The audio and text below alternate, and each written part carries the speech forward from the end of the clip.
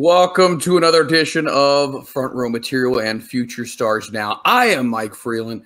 I am joined as always by my dear personal longtime friend. His name is The Ritt. Ritt. It's good to see you, my friend. How you been? Uh, not bad. I can't really complain. It's been a been a very tiring week, but uh, here we are back at it Tuesday night, eight. A- yeah, I was gonna say eight a.m. Good lord. no, no, we're, this isn't pre-recorded. It's it's eight p.m. and we're on Future Stars now, and man, we got one hell of a guest that is going to compete with my collection tonight, as I see. He Yeah. is he's an amazing uh, wrestler, an amazing deathmatch competitor, and I can't wait for this one. Yeah, I'm excited about this as well. I mean, it's it's not often we get to dip our toes into this type of genre with wrestling, but I feel like it's becoming a lot more popular recently, and I'm excited.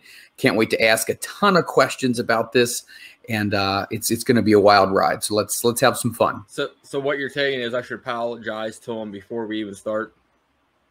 Uh, you might just want to have one in the back of your mind, just just ready to go, just in case. But Okay. uh, hey, but you know what? Here's the beauty: we get to be a part of a deathmatch uh, interview, but we don't have any light tubes uh, slammed on us. How does that feel? Hey, I could probably have Meg Spine a couple for you. You don't need to start that. You don't need to start that. Trust me, she could find any weapon in this place and turn it into a death match. And trust me, I've been on the, the receiving end of what could be described loosely as a death match in our house, depending on what it is that I did or didn't do. Okay. Well, let's uh without further ado, let's bring in Mr. Alex Colon. What's going on, guys? Oh man, we're excited. How you doing tonight, Alex? Uh, I'm all right. I'm all right. Um, just got done the shoot, so I'm here hanging out, and I'm glad to be on with you guys. So I, I'm Ritt and I were talking about this. I mean, obviously looking at your studio right there. Holy, holy cow! Only half of it. that that is a wide variety of collectibles. And how long have you been doing this collecting? Maybe a year. I had a couple friends in the wrestling community really get me into it, and uh, it's just gotten out of control. I can't stop. It's bad. It's it's literally bad. So in the last year, obviously you've been collecting. What would you Yeah. say was the very first thing that you picked up off the shelf Ooh, and said, "This is the man. beginning"?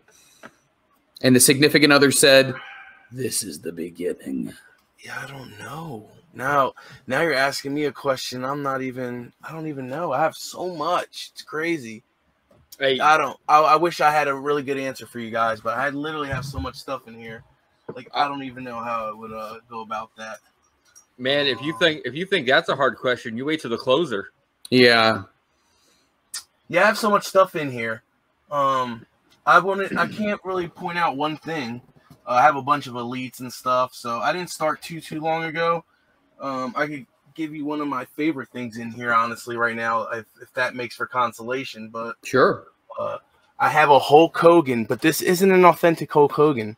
This is uh, one from Mexico. It's a bootleg that I got on on the streets of Mexico uh, when I did a little tour of Mexico not too long ago. Um, they had some really big flea market. It was like a whole block was a flea market, and um, I seen this just sitting in the back, uh, in the back of a bunch of crap, and I was like, oh. So I started asking the guy like, oh, how much? You know, obviously I know a little bit of Spanish. I was like, ¿cuánto? ¿Cuánto eso? And then he let me know it was like 10 American dollars. I was like, yup. I already knew. I was like, man, this thing is crazy. It's like they make bootleg figures like wild in Mexico. And and believe it or not, Alex, bootlegs actually have their own genre of collecting. So Mhm. it, it is really very very uh, authentic, and it's very exciting to be able to find some of these because depending on where you are in the world, those things are just as valuable, if not more, than the authentic ones because they're so rare you can't really find them all the places. Agreed. You're right. And, They're, they're like one of a kinds, you know? and, and didn't Jerry say he who was it Psicosis or Juventud? He used to pay him the the go- when he went down to Mexico to get his boots because they're they're better quality and cheaper made. Yeah. There's I think- material. Uh, I'm sorry to cut you off, Mike, but there's materials in uh, Mexico that you can't get in the states. So that's why a lot of guys get their stuff done in Mexico because there's a bunch of different styles of materials and stuff that they use over there. And for a lo- obviously the cost is really low compared to the U.S. Um, there's stuff over there that we can't get over here. It's it's nuts. Yeah, I think it was. Um, now that I'm thinking about it here, I think it was super crazy. Um, yeah, super crazy would go down there, and he would actually take orders from people. And uh, obviously, he and Jerry became good friends. And he was like, "Hey, man," he goes, "What are you paying for your gear?" And I think Jerry told him whatever it was, and he goes, "No, no, no, no, no, you're overpaying." He said, "All right, well, next time you go down," he said, "You know, I'll give you X amount of money, and what can you get?" And I think he said he got. Jerry said he got two pairs of boots. He said, and they were so well made. He goes, I wore them for the majority of my end of my WWF run and into my TNA run. And he goes, it was great. I loved them. That's awesome.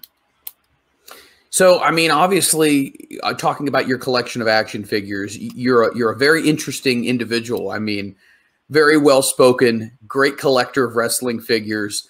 Um, when it came to wrestling, what was it about wrestling that really started to pique your interest? Like, you know, why why pro wrestling at the end of the day? What was it that really made you say, you know what, this could be something I could see myself doing?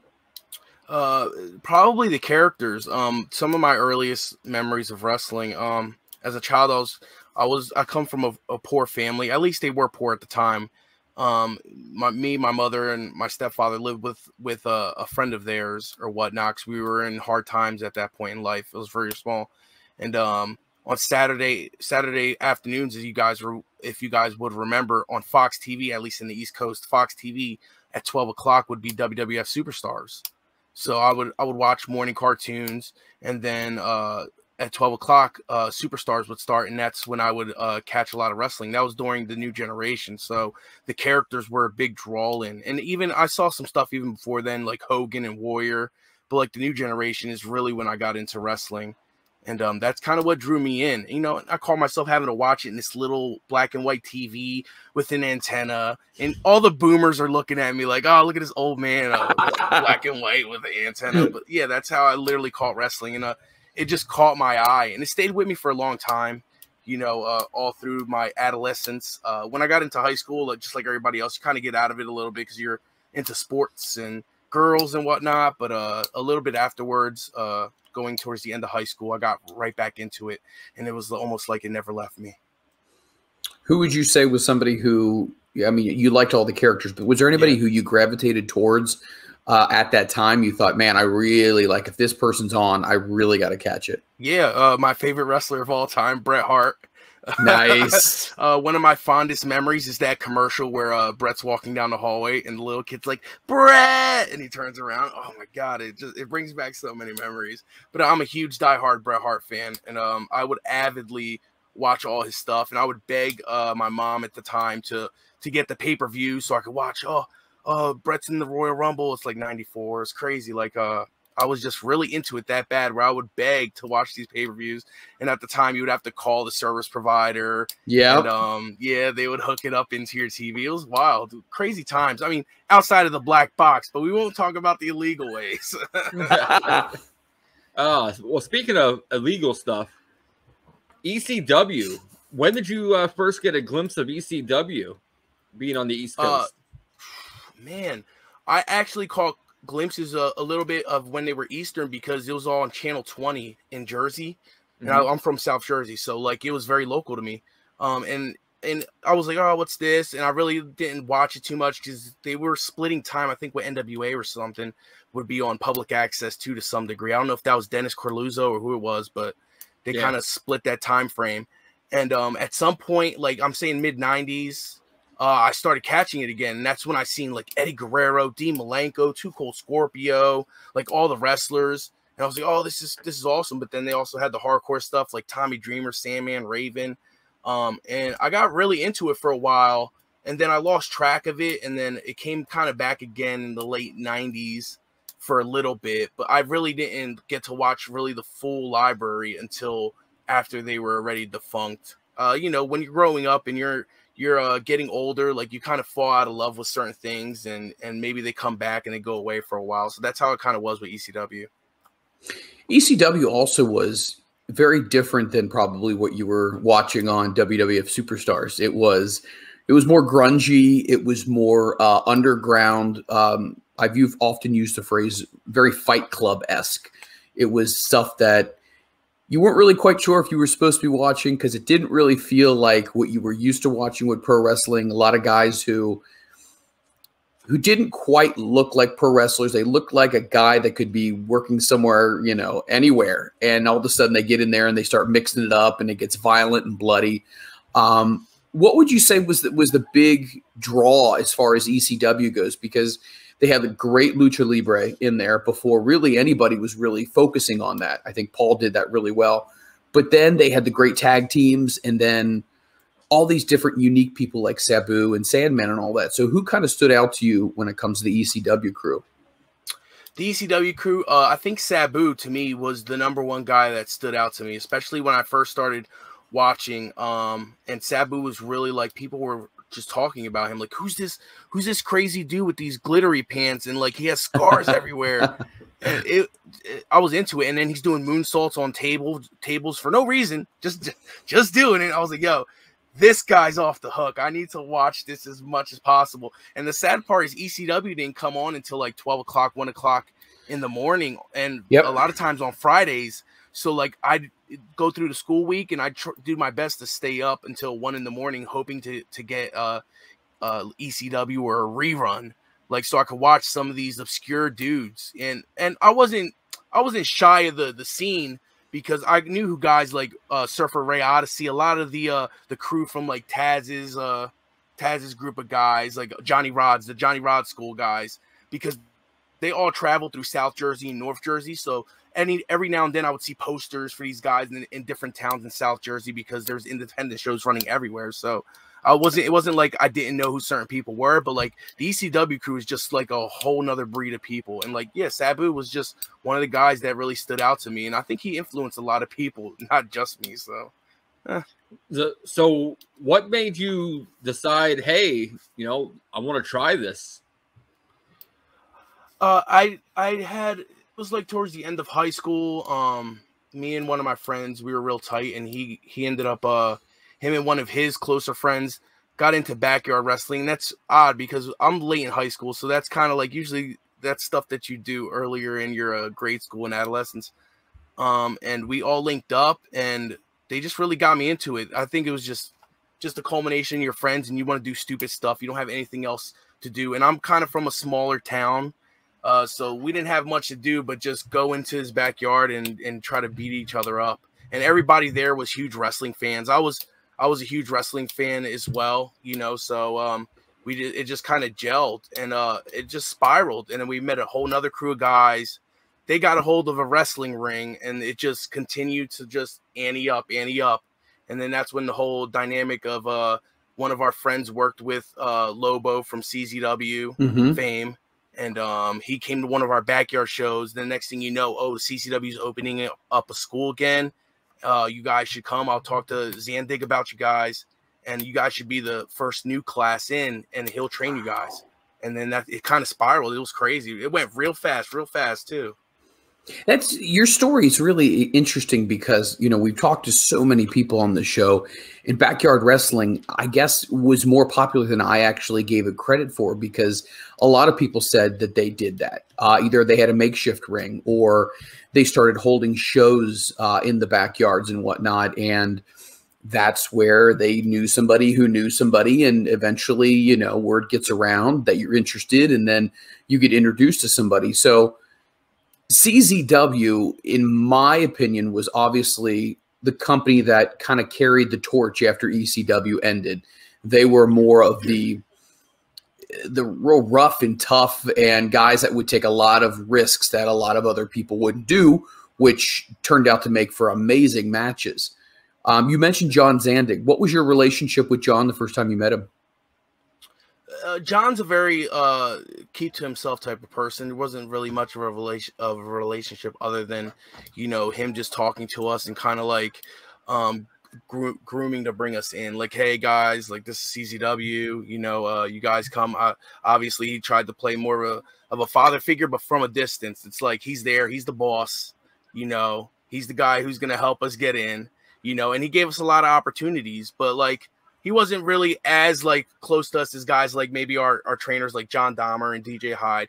And then we had tons of like Ruckus, uh, you know, uh, Black G's who was Sabian at the time, and Joker. A lot of those local like Philly guys were there. And what a lot of people don't know is like when I first started training, uh, I started training with Tommy Cairo and um, a guy by the name of White Lotus. And then kind of when CZW finally really started, that's when I kind of flipped over. So people don't know that I had a lot of older school t- style of training before I got into CZW, at least a couple months of it. Yeah, CZW, like you had a great career there at CZW. Like I'm just, I was just looking at, at the tournament you won, uh, mm-hmm. best of the best 12 in 2013. Yeah, that like if you look at that tournament, like that's some of the great who's who's of now. You know, you had Jonathan Gresham, mm-hmm. Alex Reynolds, Rich Swann, AR Fox, Tommy End, and your of course yourself was in there. It's like, man, like if you were to get that tournament now, like that's a that's a pay per view caliber right there. Yeah. That's yeah. a seventy dollar people would pay to see that right there. It's a it's a TV. It's a TV pay per view. You're absolutely right, isn't it? Man, what did I do with my life, guys? uh, I, I, apologize. You're here uh, getting interviewed by us. That's cool. Yeah, we uh we we don't really uh, answer a whole lot of questions. I mean, we get a lot of them when we're out and about, but um so it's so exciting to hear about this because when you say John Zandig and I think there's always a lot of question marks around him because like you said before, not exactly the person who jumps out when it comes to memorable quotes or somebody that you've heard a lot of things from. And you also mentioned DJ Hyde as well. Mm-hmm. So obviously, we know DJ Hyde then went ahead and he branched off and he kind of did his thing as well. What was it like working with and getting to talk to DJ Hyde at that time as well? Uh, at the time, he was he was a real like he really um did uh, did his best, I guess, to help us. You know, I always felt like, and this is my personal opinion, I always felt like he had his he had his doubts here and there because I guess uh, being a, a, a father figure of sorts, um, he didn't he didn't always want to let the leash too let go like too long. You know what I mean? If that makes any sense. Yeah. Um, but he gave us as many opportunities as he possibly could, at least eh, when he was the boss. Even when he wasn't the boss, he was always kind of like pitching for us to do stuff, you know, and it did nothing but but help guys like me and Joe Gacy, Adam Cole, guys who were really there trying to grind and get somewhere. Um, that was kind of his role. Like he was the head trainer. He was one of the head trainers. Um, and you know, I have I will always have respect for DJ. It's like I wish he would have like let the leash go a little bit, but like role wise, like he was almost he was a little bit more of a fatherly guy, uh, more so than Zandig. But you know, like he had his ups and his negatives and positives or whatnot. So I, I can't really comment too too much about it. So I want to say it is somewhere in Pennsylvania where they have that crazy, insane death match. Uh, wh- where exactly is that at? That's, it's it's like in a big field. That's, that's oh, Maryland. Uh, Delaware. Maryland, Delaware, Delaware, Delaware. Okay. Yeah. So I watched a documentary on that, and there are legitimate, dedicated fans that.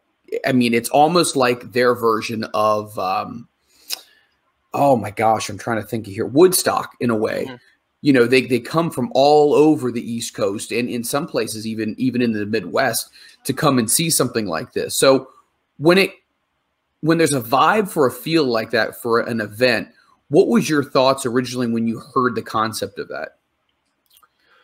Well when the original uh concept i actually uh i didn't say i watched it but at, at one point CZW had Fake UTV, which was their kind of hard ECW hardcore TV, which would play on uh, public access. So when ECW faded away, CZW kind of came into that time slot, and uh, I I just randomly like clicking through the channels fell into it, and um that's where I seen like uh, Best of the Best was one of the first uh, commercially things I seen. They they did these little commercials in between in between their segments, and a uh, Tournament of Death was one. So then somehow I got a hold of Tournament of Death, and that's where I like first seen the whole Tournament of Death concept, and then eventually it evolved to where they started running in Delaware for the most part. So that's kind of how, uh, how I stumbled upon that whole thing.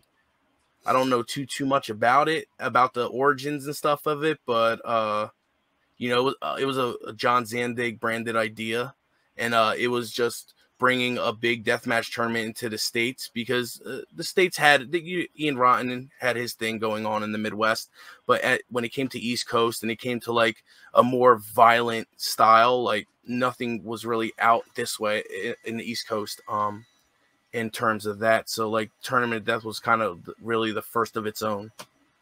Did any of that kind of make you take a step back and say this might be a little too extreme, or did you feel like no, even though it kind of uh, has that appearance, everything is very much under control at all times?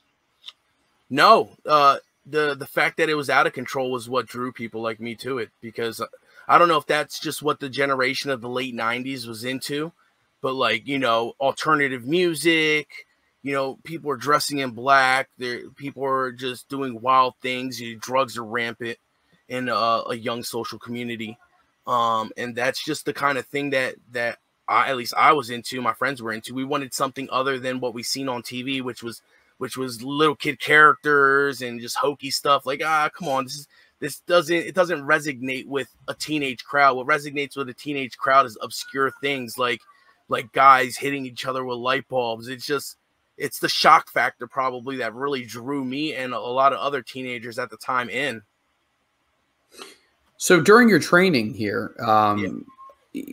at what point, just to kind of educate me, at what point does the the more extreme and deathmatch stuff start to come into the equation? Is it more of standard wrestling school, and then at the very end they say, "Hey, this is what we, this is what our moniker is, this is what we're known," or do they weave that into the the training regiment as well? Is there any introduction of that?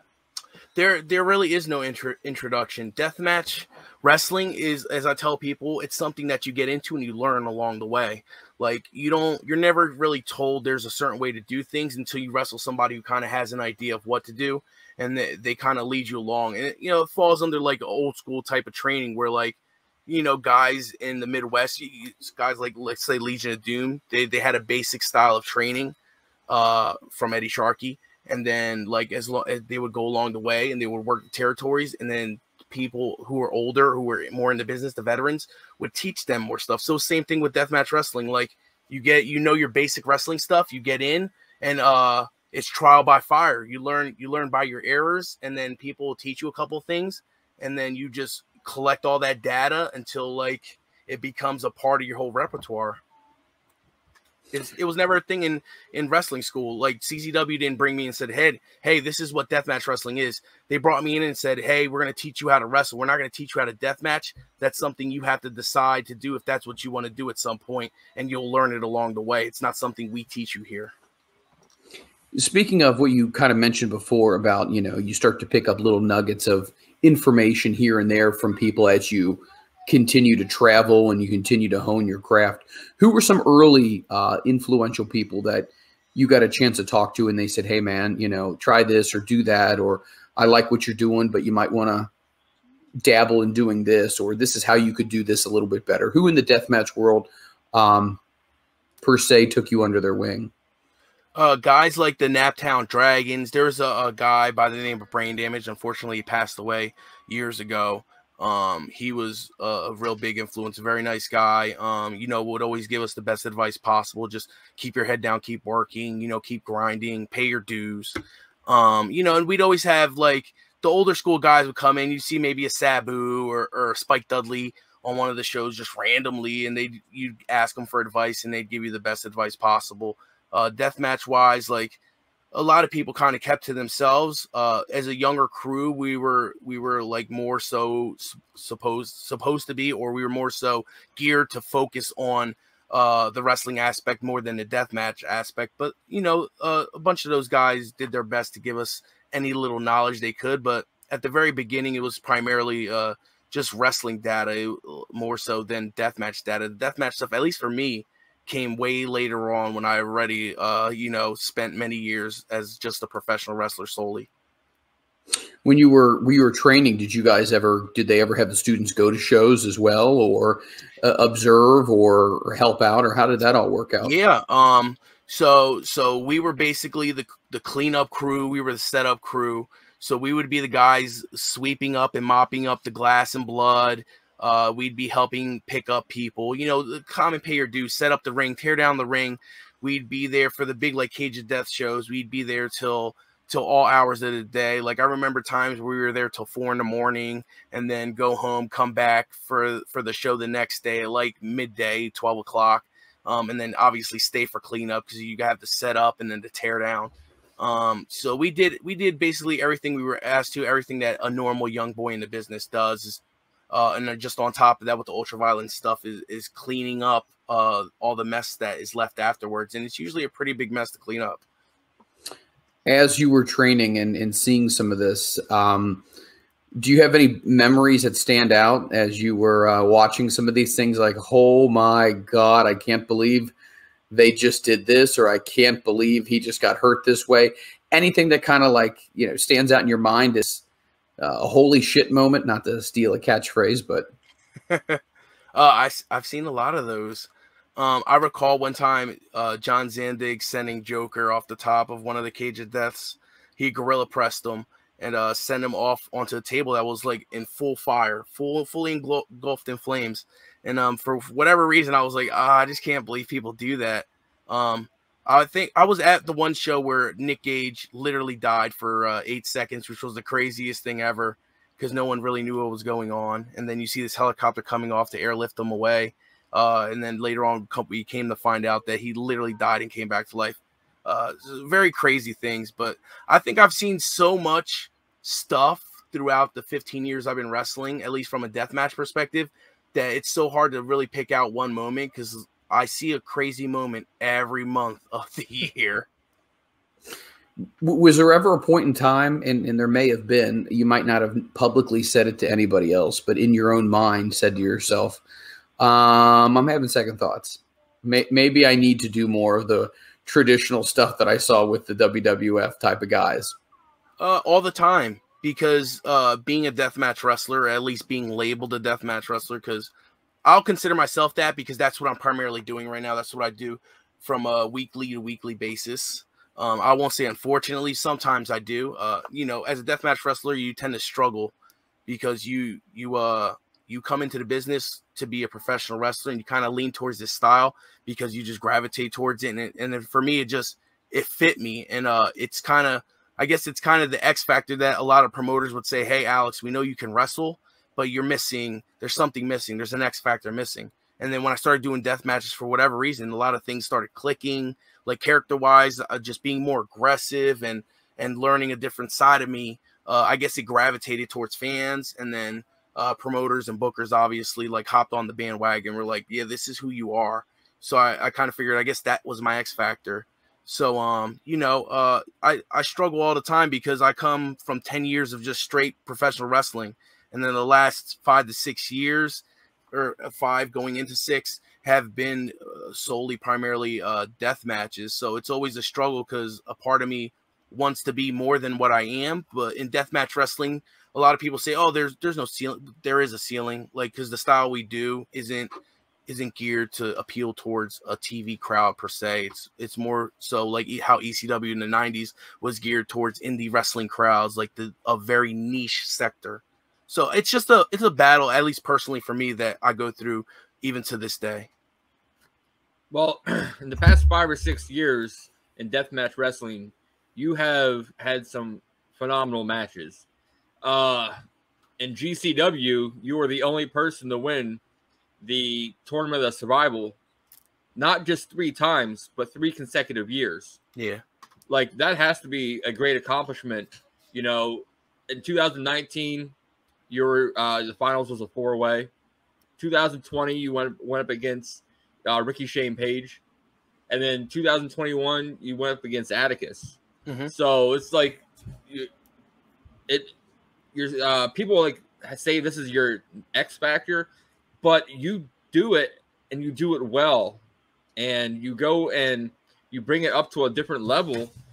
You know, every time you go out there. Yeah, I mean, I mean, it's it's obviously what I do well. So I don't, I'll never deny uh, you know, being a deathmatch wrestler because it's what I do do well. But at least in my own personal opinion, at some point in life, I'd like for people to be like, he was a good professional wrestler, not just a deathmatch wrestler. That's great, but uh, at least coming from my perspective, it's just about encompassing the whole uh, around thing, you know. But deathmatch wrestling is a big part of my life, and you know, the fans love me for what I do, and I love the fans for loving me for what I do. Uh, especially coming out of the pandemic, uh, I would love to get your thoughts on uh, Matt Cardona, how he how he helped, you know, get more eyes on deathmatch wrestling, and I, I, would love to get your thoughts on uh, on him, you know, dipping his toe in deathmatch wrestling and, and what he's uh, done to try to help out, you know, the indie product as a whole. Yeah, um, you know, uh, not too many people from a TV aspect even think about at least what we do. Um, it like like we we were saying, it's very niche. Uh, it's not it's not in the wheelhouse of anybody from more of a TV background. He's from more of a TV background. He was kind of bred and groomed into that style. You know, for him to come into a deathmatch style, like it did bring a lot of eyes. Like he's a guy who has a lot of social media presence. Everyone knows him from his podcast, his little YouTube show. Um, you know, and he he has a big voice uh, in the wrestling community uh, amongst TV fans, indie fans, podcasting fans. So uh, that could only bring good. And granted, a lot of the a lot of the diehards in GCW hate Matt Cardona for uh, just being who he is, but they can't deny the fact that he really helped bring a whole new audience into the deathmatch genre. Because there's a lot of people who who watched guys like me on that same show where he wrestled Nick Gage and said, "Oh, who's this guy? This guy's awesome," you know and mm-hmm. it brought a lot of new eyes to to what I'm doing and to what other guys are doing. That's only a positive from here on out. It seems like we're getting a lot more people who are working in the deathmatch scene. I mean, obviously, we saw, you know, Nick Gage t- tends to be that guy that a lot of people put in there whenever they think of that. Um, Nick Gage versus David Arquette, and then obviously Nick Gage gets on AEW Dynamite in a big match with Chris Jericho. Obviously, he was feuding with uh, Matt Cardona. Um, Suzuki is actually going to be going uh, into the yeah. death match, and he's going to. So it's really interesting now that you're seeing so many of these different people. Like like Ritt said before, they're bringing a lot of attention um, to this, and they're bringing their name recognition and their fan base, and they're you know kind of highlighting this, and people are getting exposed even more to a genre that they might not have seen. Obviously they can see people like you and all the other kinds of people and they can say oh my gosh now i want to be a fan of this person. It's what gets you in the door but it's what keeps you coming back is what you mm-hmm. see during the show.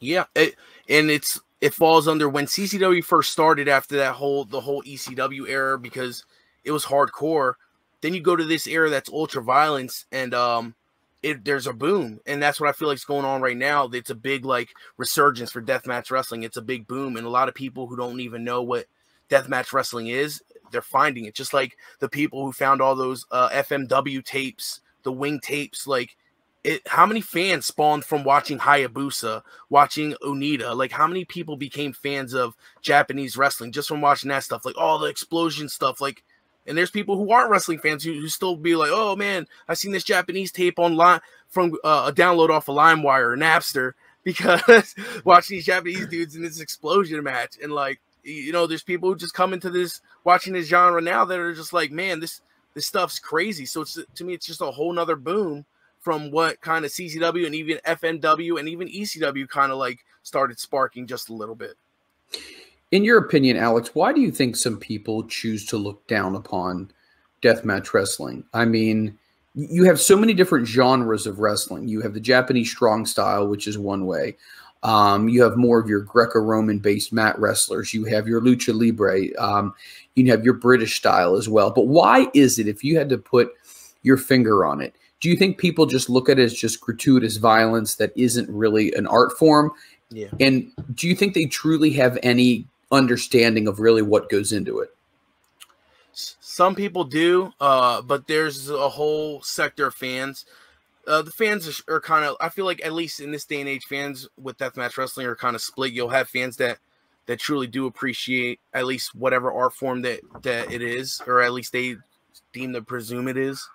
Um, and then you have a sector of fans that are kind of just into the gratuitous blood, the violence, the big like, is this guy? I hope this guy gets hurt type mentality, and that's I feel like that's not what it's about. I feel like it is it is kind of an art form, and at least from what I do is is I like to mold wrestling into the death matches, and um, you know it's not just about the big spots and the weapons, like it's about at least trying to tell a story, if not a simple story, and and trying to mix in uh, maybe some catch as catch can or some traditional technical wrestling, some high flying, uh, something other than two dudes smashing each other with uh, with weapons, you know, and you just get you just get different sectors of uh, fans that kind of like have their thoughts on it, and that's where you get people who think, oh, this is just it's just violence, you know, and that's a lot of the early stuff. The early stuff was just two guys just hitting each other with stuff because if you watch even like old like uh NWA cage matches and stuff, like the psychology wasn't built on being a technical wrestler. The psychology was Dusty going in there with somebody, they're punching each other a lot, they're bringing chains out. It's they're red equals green, right? So yep. what why is what we do any different from what they did? The only difference is they use that as a blow off and sometimes we come in right away with that and we try to figure out how to build and ante it up even more so from what we did. So it's kind of more of a higher elevated version of what Dusty and some of those guys were doing in the 80s. So I don't sometimes I just don't understand the psychology of of hey, what you guys do isn't what they did. Uh, it's not wrestling. Uh, it's it's exactly kind of the same thing they did, just a little bit more violent. No, I agree with you completely. Um, you had mentioned about this a little bit earlier. You said that when it comes to doing deathmatch wrestling, sometimes promoters it, it, may be hard to get on a show that's not necessarily deathmatch because you can still wrestle really well, and you did a lot of that the majority of your early portion of your career. Um, do you feel like some people stay away from booking somebody because they may have the stigma of their death match and they think, well, they really can't go any other uh, style. But in reality, a lot of these guys are just as versatile and just as good. Uh, it just happens to be death match is really what their passion is. Do you feel like that's ever hindered you as far as getting booked? Uh, I guess maybe sometimes. I really don't think about it that hard, to be honest. I would think about it more from the flip side. Like promoters are only wanting to book me because they see my deathmatch stuff. So that's what that's what they're seeking. Not more so, oh, are they not going to book me because all they see is deathmatch, but more so they they want to book me for the death match. But uh, if it if it comes to like stuff like TV or getting looks from from outside companies overseas, or obviously it's gonna it's gonna hinder me because a lot of the perception um, amongst uh, the general public is what we do isn't wrestling, and that's why guys like me are doing the best to kind of change that perception. Um, you know, uh, maybe someday it'll change, and and that'll be something that could benefit deathmatch guys is to be looked at as professional wrestlers as a whole. But I feel like at least right now, uh, you get your kind of your 50-50 going on. I remember it's funny you talked about um, FMW. I saw a lot of the FMW stuff with Leatherface and Terry Funk did a bunch of stuff and Mick Foley did a bunch of stuff and it was it was very raw, it was different, but it still garnered an incredible audience and it was something that FMW was more of a tape trader thing. Um, back in the day, you you had to get it from somebody who who had a copy of it. But yeah, I, I remember that very, very vividly. And it launched a lot of careers. I mean, let's think about it. If Mick didn't do half the stuff he did, would he necessarily have gotten the opportunity to do the mankind stuff? Because that's what attracted so many people was his anything goes type of style. So I feel like a lot of people still need to give credit to the FMWs and the GCWs because there is money in that, and that can springboard people into into other areas. I agree. Uh, every every style of wrestling has its appeal, and I feel like deathmatch wrestling does have an appeal. Um, and I feel like hopefully maybe someday we could see a lot of deathmatch guys get an opportunity to be on a larger platform to be able to show that we could kind of uh, bring it to a, a TV level, and it's not just the indie like oh all we could do is just bleed a bunch. No, we we could do way more than that. It's just being given the opportunity to use our creativeness to uh you know sway the public into believing what we're doing is is what we do outside of the the viewer eyes you know Well, Alex, you know, you can wrestle, you can do death match stuff, but recently I caught a promo you did, and it really, like, it really drew me in.